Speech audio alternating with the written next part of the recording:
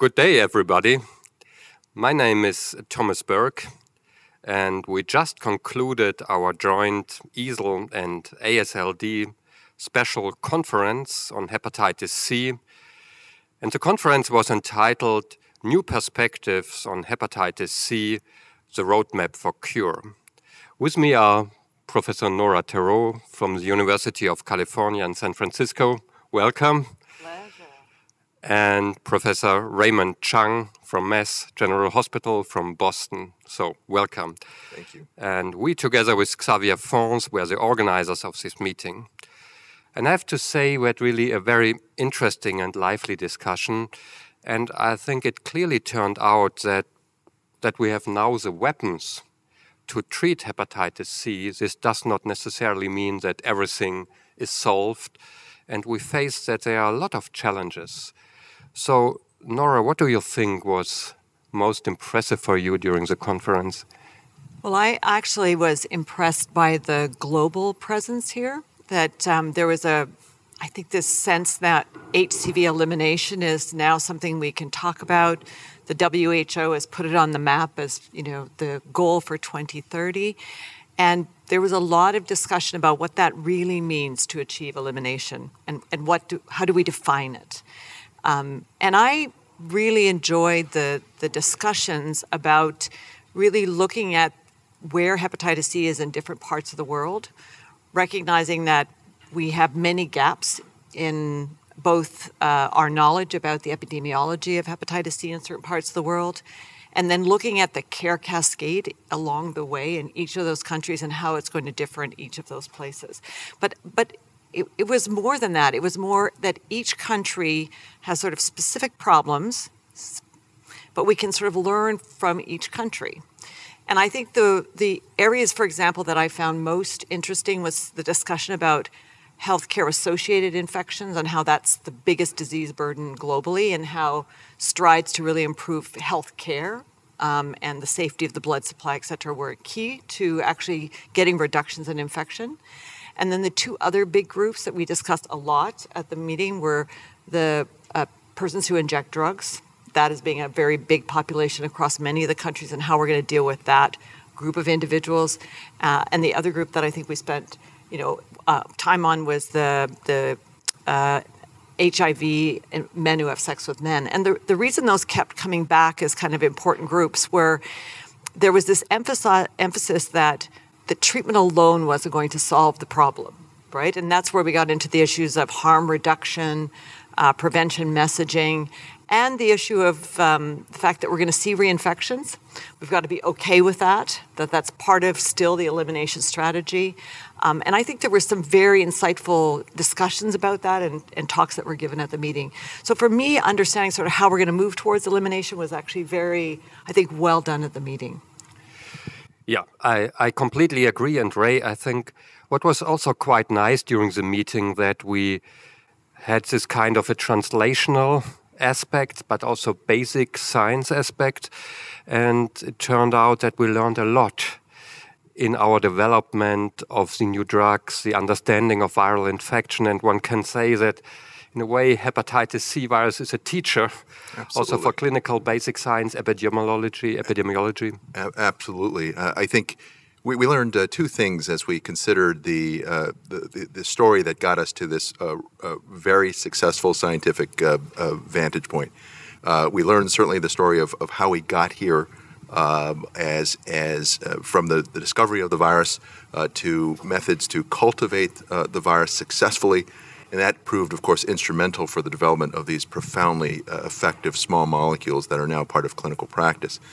But we also learned that the virus is more than just a virus. It interacts with its host in a profound and myriad number of ways.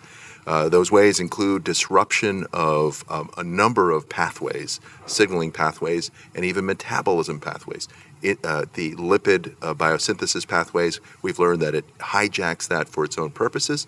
We learned that it that it disrupts insulin signaling and uh, glucose metabolism, leading to increased risk for diabetes.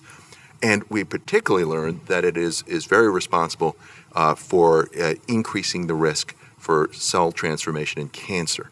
uh, through a variety of different means, not just inflammation and all the injury that it begets, but just simply even induction of, of endogenous pathways like uh, epidermal growth factor uh, pathways to induce a growth program that ultimately may trigger cancer. That's important because of what we are seeing in the aftermath of cure.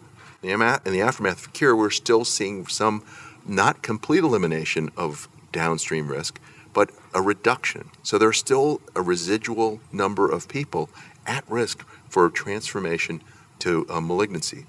So that has prompted, I think, a, a great deal of, of in, introspection by all of us saying, we're not done yet. This is a disease as much as it is, as it is an infection, and that disease isn't done yet. We've got to find ways to understand why uh, the virus moves on or the, the infection state and the liver disease it produces uh, still can lead downstream to um, uh, a set of, of uh, still very important complications. And, and I think to that um, uh, extent, uh, further investigation understand, as we learned a little bit over the course of this conference, that there are programs that are still affected even after the infection is eliminated. Um, a number of gene expression programs and possibly even epigenetic programs that are induced that don't fully reverse. And so understanding that's going to go a long way toward identifying people who are still going to be at risk for these continued complications of their, of their disease. Yeah. yeah, indeed. I think that's a very important point, and we have to learn a lot what happened after eradication. I think we had excellent presentations on standard of care, what is the state of the art, how to treat patients with all the different genotypes in the standard situation. And it could be nicely discussed on the background of the new guidelines. The AASLD had a new guideline. Yesterday, the EASL guideline was released.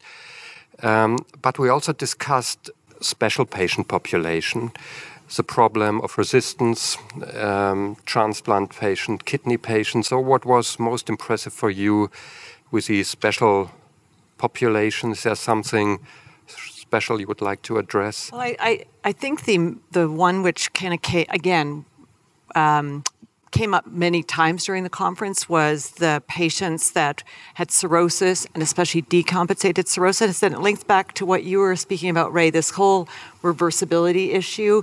And when you cure an individual, do you really cure them and what does cure mean and, and how much recovery of, a, of, of the liver and the complications of liver disease do you see in somebody who's got decompensated disease the whole management of a patient who's on the waiting list that was a, very kind of controversial issue i would say that we had many opinions about who to treat on the list and who not and i thought there was good insights into how to think about that problem and the fact that we need more data in that regard um, and I thought the discussion about acute hepatitis C was also very interesting. Um, you know, a kind of a new dimension for us to be thinking about therapeutics where we, because the EASL guideline did come out with some new in, new recommendations, and that kind of was the a focal point for us to discuss acute hepatitis C. Yeah.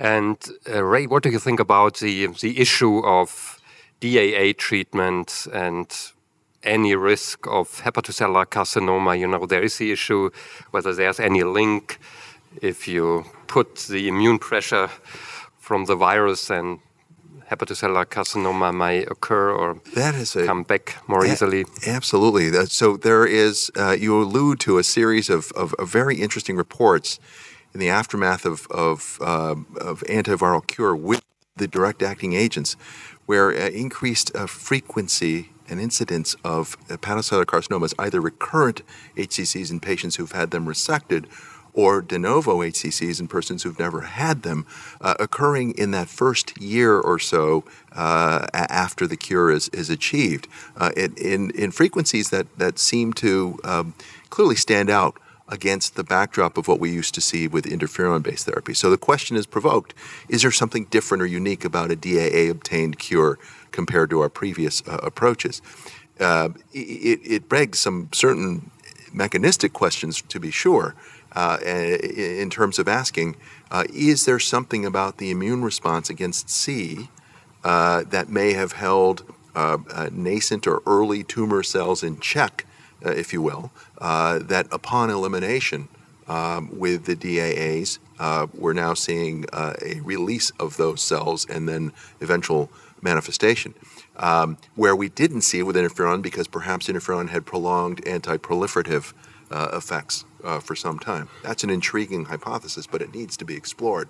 Um, quite another approach might be asking, uh, as we saw in an, another presentation, uh, looking at immune responses um, uh, being liberated in the context of, of DAAs in, in, in terms of the virus being eliminated and its uh, net uh, suppressive effect on T cell responses being essentially uh, removed, are we seeing uh, uh, new T cell responses that at some level are actually contributing to that transformative event? So it could be a number of possibilities that need to be explored. But, but these reports certainly uh, give us caution about saying we'd better have a firm handle on who these patients are and what the, we think their risk for cancer is in general. So if they're high risk for cancer in general, uh, we need to think carefully about about the intensity of, of, of how we monitor them uh, thereafter.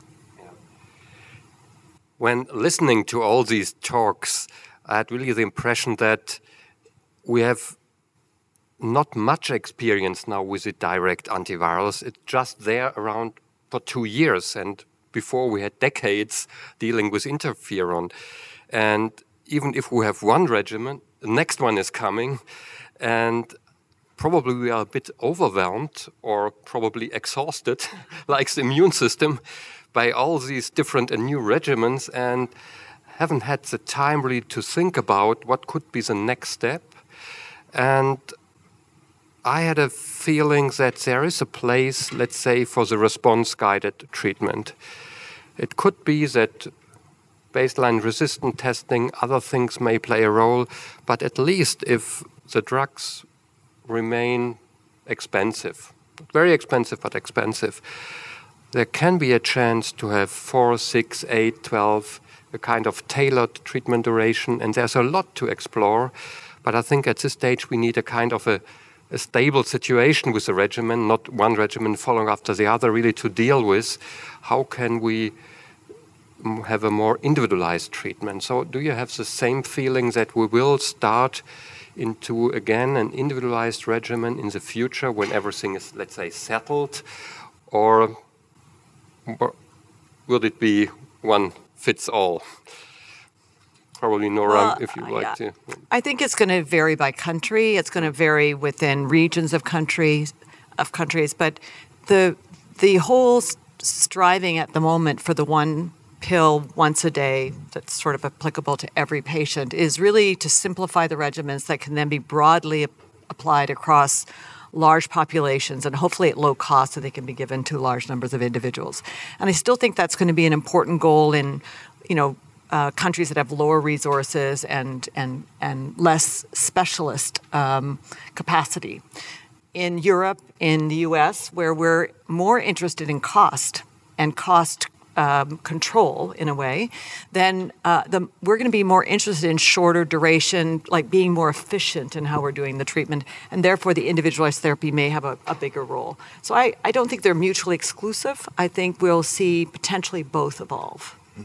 Yeah, I think that um, that uh, globally speaking, uh, to have a one-size-fits-all uh, standardized regimen may be high priority here, um, particularly with regards to uh, not ju- not just uh, defining a simple pangenotypic regimen, uh, but one that requires the utmost minimum of monitoring, because I think one of the um, you know major capacity issues is probably going to be the ability to, to monitor these patients.